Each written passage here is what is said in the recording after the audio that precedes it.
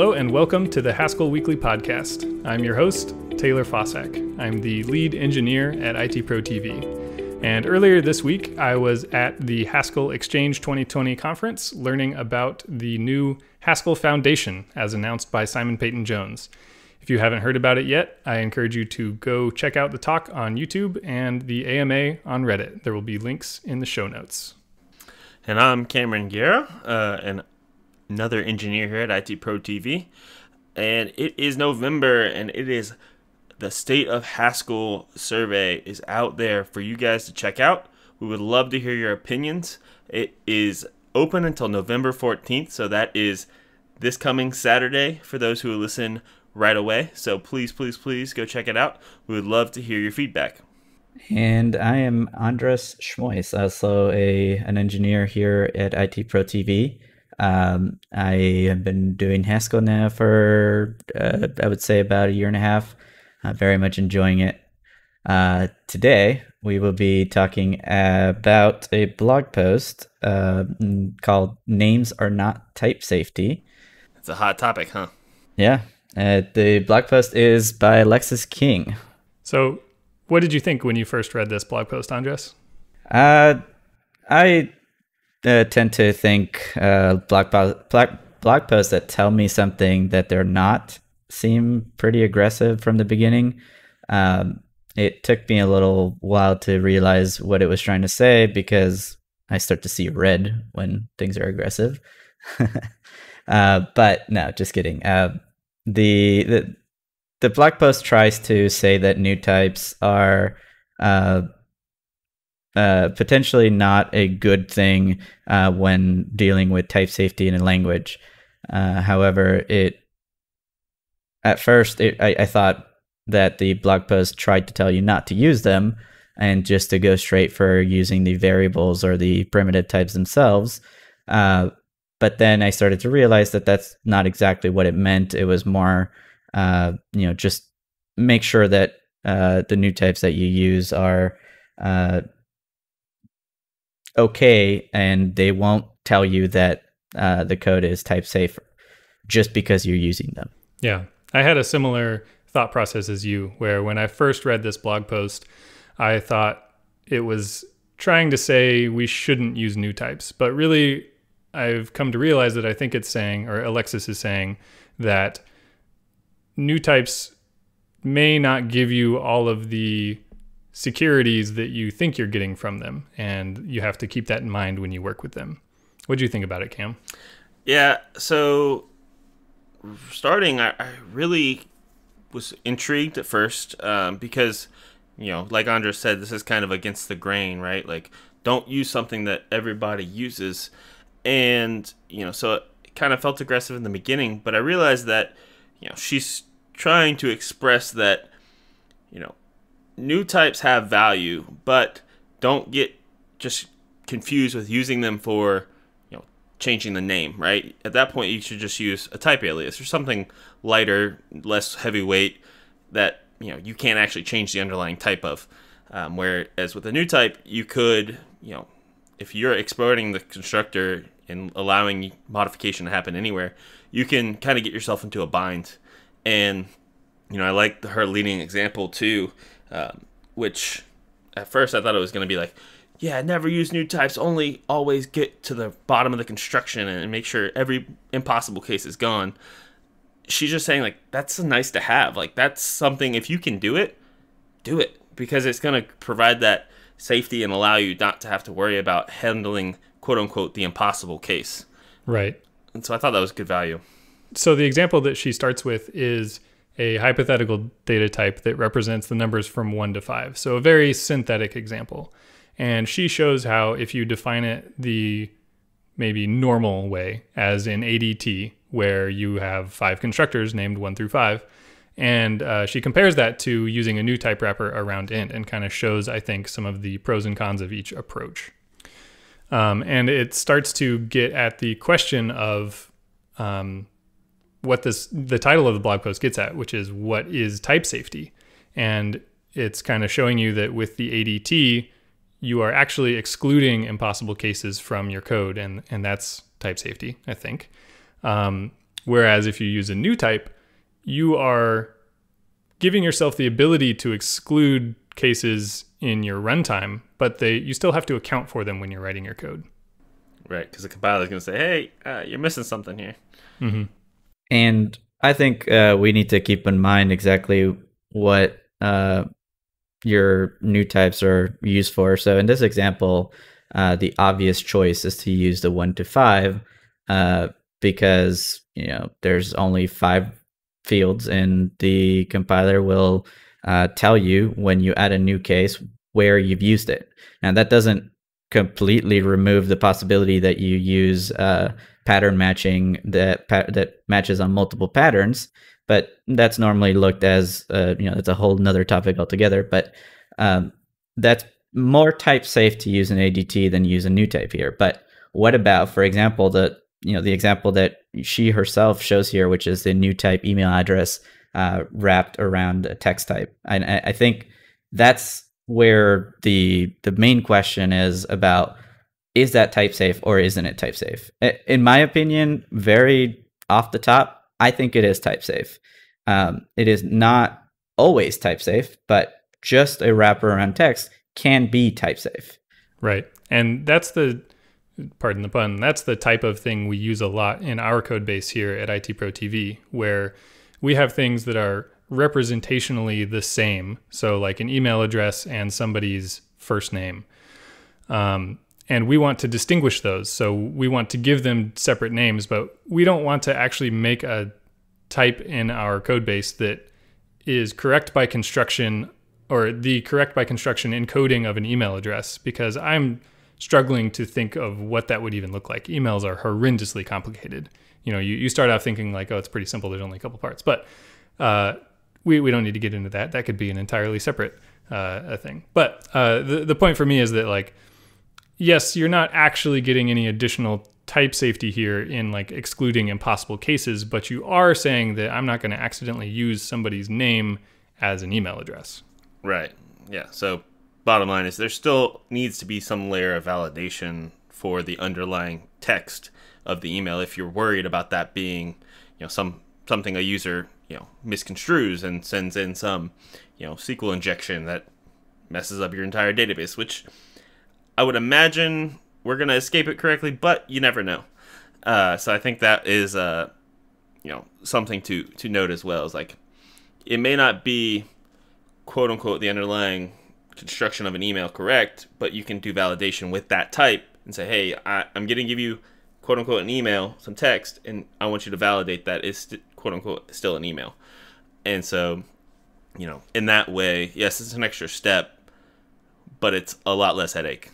Right. And that validation uses a very common pattern in Haskell and probably other languages as well, but where you have a module that only exposes the type and then a smart constructor. So uh, this is uh, uh, the way that she talks about this in the post is um, new types as a token. So you're saying that since the only way you can construct, for example, an email address is using this blessed function in this module, then you can use the new, the email address type as a token that says I have validated this thing, and all of the functions that operate on that type are responsible for holding those invariants. And uh, I'd just like to mention that uh, we say validated a lot, but I think we all really mean uh, parse it. So, you know, there's that entire blog post by the same person uh, that says parse don't validate. Um, the the the the thing I want to mention is that we don't check to see if the email is valid or you know if the name is valid or whatever. Um, we try to parse it and if it fails to parse then that is an invalid email so i think we use validate and parse pretty exchange interchange interchangeably because you know that that's the right way at least that we think uh, we should program those types right that tends to be our parsing and validating for us tends to be the same. Right. And, and email addresses is maybe a bad example because they are very complicated. And even if you have something that looks like an email address that successfully parses, it will, you know, you may never be able to send an email to that thing.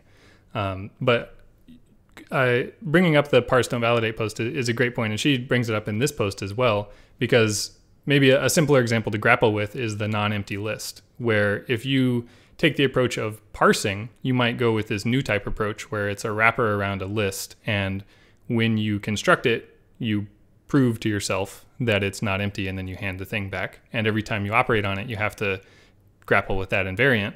Or you can validate it and produce a data structure that carries around that validation.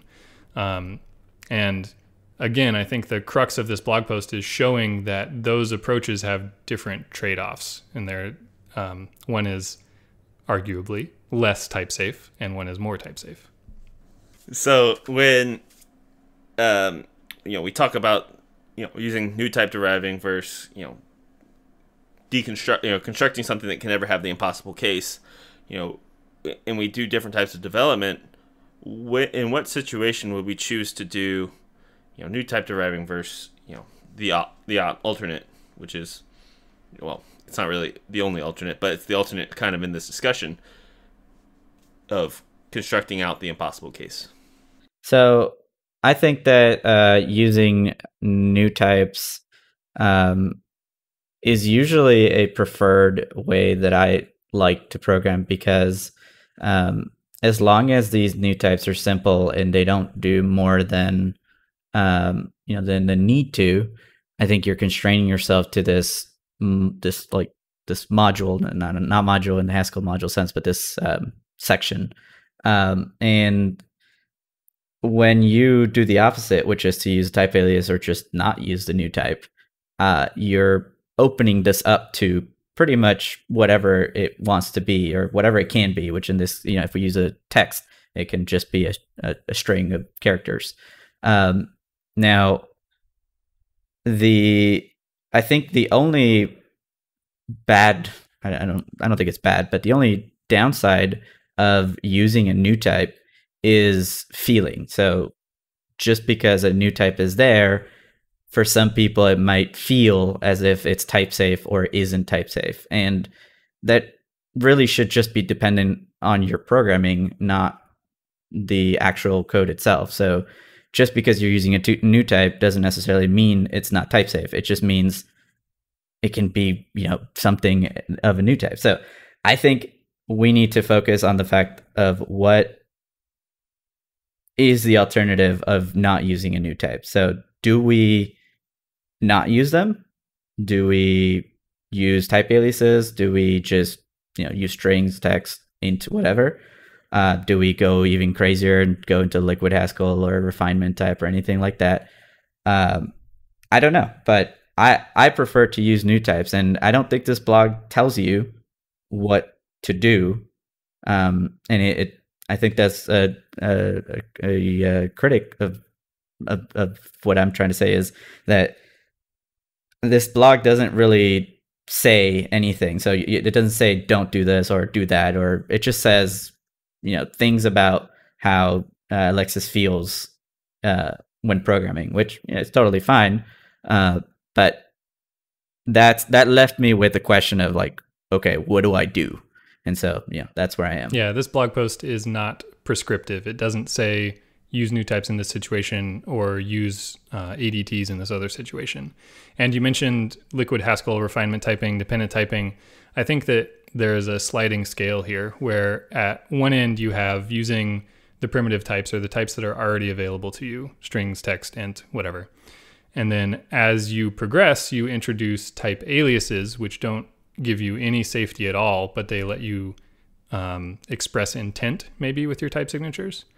And then you have new types, which give you a little bit of type safety, more than type aliases, but less than ADTs. And then ADTs give you even more, and that's kind of where it stops for Haskell. But as you add liquid Haskell, you can do refinement types. So that example we started with, a number between one and five, with liquid Haskell, you could have a function that takes a regular primitive int, but you can express that there's a refinement on that where it has to be between one and five, and it will check those for you.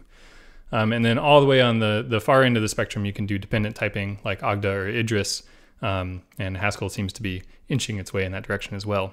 Um, and for me, I think I'm in the same boat as you, Andres, where my preference is to stay as close to the simpler or primitive side of that until some problem happens. And that I think is where, for me, the benefit of new types is where you can start to see the invariants that you wish your type had.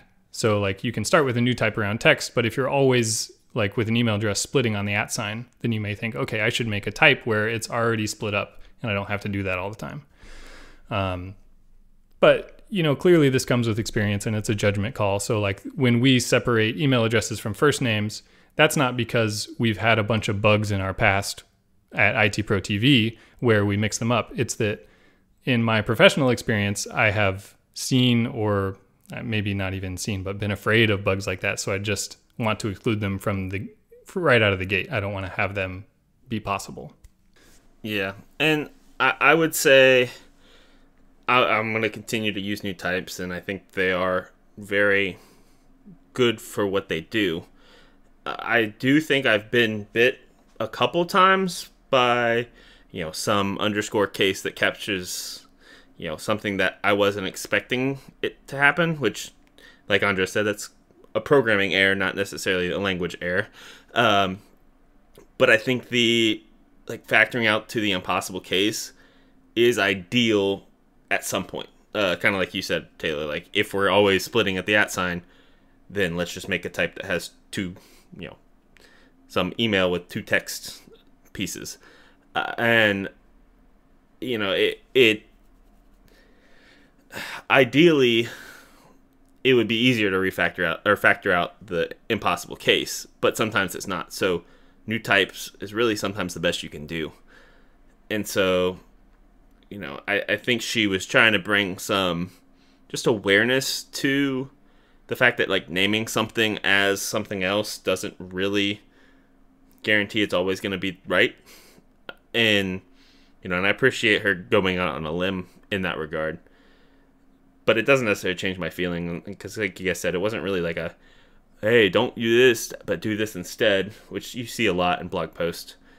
I think it was just saying, hey, just just to be aware, this doesn't really mean you're more type safe because you're using new types. Yeah, and it also does a good job of comparing these things against each other, the data type versus the new type, and showing you how how you work with them, how you produce them, how you consume them. Um, and it that highlights, I think, some of the costs of new types where you have to do all of this wrapping and unwrapping and derive all these instances that are already available on the type you're wrapping. So it's like it, it's kind of like boilerplate, and it's um, maybe it's a posi- position of privilege as a Haskell programmer to call two lines of a bunch of type classes boilerplate. You know, you're not actually writing all those instances, but you still have to derive them. There, um, you know the the blog you know we, we talked a lot about you know what things are and aren't um, and i think one thing that we probably should mention is you can misuse new types. And that's true of almost any uh, programming feature. Uh, you can most of the times misuse something. And i think uh, one thing in this blog post is the the argument name uh, example where it's just some kind of complex type that will derive a whole bunch of stuff. And at the end of the day, it just turns out that using this new type is exactly the same as using a type alias. Now, in that case, and probably many other cases, this is not type safe. So we are uh, allowing the possibility of constructing a type without actually touching the type. And so that that is, I think, something to point out is that just because you use type safe, uh, sorry, uh, new type doesn't necessarily mean that you have even any type safety. Now, you can use new types and have type safety, but you have to be you have to make sure that your new type does do what you want it to do. And there's a lot of examples of how to make new types into basically not type safe types. And I think a lot of that, uh, you know, you go into coerce or converting from one to the other, convertible, you know, that kind of stuff. That can get fuzzy between type safety and not type safe. So that's that's a good argument, and I I I, I think that this blog makes very good arguments, but um, we should be mindful that new types are a very useful tool, and we shouldn't shy away from them. I mean, I don't think anyone's ever going to shy away from new type. They are one of the most used features of Haskell. Just wanted to mention that we shouldn't just start removing all new types from our code bases. New types are definitely a mainstay of Haskell programming, and I doubt they'll go anywhere. Uh, and the argument name, I think it's hard to say in a vacuum if it is truly unnecessary and should have been a type alias or even like a haddock comment on arguments. You know, just say like, oh, this is, or it's called argument name, so that's confusing. On function parameters, you'd say a comment here, this is the argument name. Um, but it could be that in this code base, there are lots of different types of names that it's worthwhile to differentiate between them, like an argument name versus a function name or an argument name versus a module name. Um, so we can't really say, you know, we're not looking at the code base. Um, so we'll have to take Alexis's word here that this was, in fact, an unnecessary wrapper. And y- you pay the cost of wrapping and unwrapping it everywhere, but you don't ever get any benefit from it. Yeah, and I think the the main thing to look into here is something like um, overloaded strings with um, is string derivative, and I think that is what makes a new type potentially useless. Um, it's still not useless because there's still um, you know the the value from using it in a function, for example. But in terms of type safety, you've just thrown it out the window. Um, it's no longer just an email address, it is now any string. So any string can become an email address, which I think that should have been talked about more, um, you know, in terms of type safety, uh, of whether or not we should be focusing on type safety as conversion. So if we want to go from something into a new type, what is the, the best way? Do we use wrapping functions? Do we use record type uh, wrapping? do we use instances uh, you know that i think that's very interesting and, and it's a problem that's been plaguing me for you know since i started and i would like to have an answer to it i just you know it's still something that i'm struggling with and, and i'm sure and there are answers there are many answers but what is the right one yeah I, I think we've stumbled upon yet another good topic for another podcast episode so we'll have to talk about that one of these days yes well, Cam, do you have any closing thoughts about this uh, names are not type safety blog post? I think we've covered it real well. I really appreciate you guys coming on the podcast today to kind of talk about it. I really value you guys' opinion. You're a little more seasoned under the development belt than I am, so you know I've, I've learned a lot from your opinions as well as Alexis's here. Uh, so yeah, I think it was a good post. It created some good com- conversation, and it seems like what four or five new podcast topics. So you know, I think I think we got a lot lot going for us here. Yeah, agreed. Andres, how about you? Uh, yeah, I I don't have much more to add. Just uh, like to reiterate, new types of good sides, bad sides. I think we should be very mindful of them, and uh, you know, the better code you write is always going to be the better answer, regardless of what others think. So, yeah. All right. Well, I think that will do it for us today. Um, thank you for listening to the Haskell Weekly podcast. I have been your host, Taylor Fausak. Um, if you want to follow us on social media, you can check out our website, which is haskellweekly.news. From there, you can find links to our Twitter, Reddit, GitHub, all the various places we are. Yep, and Haskell Weekly is brought to you by IT Pro TV, a e-learning platform for IT professionals and also our employer. And they want to extend an gracious offer to you guys of 30% off the lifetime of your subscription with the promo code Haskell Weekly 30, all one word, all caps, easy peasy. If you ever had any questions, member services team is pretty bomb here at IT Pro TV, so they'd love to help you out. But go check it out. We'd love to see you seeing what's going on in the IT world. Stay safe. See you next week. Take it easy.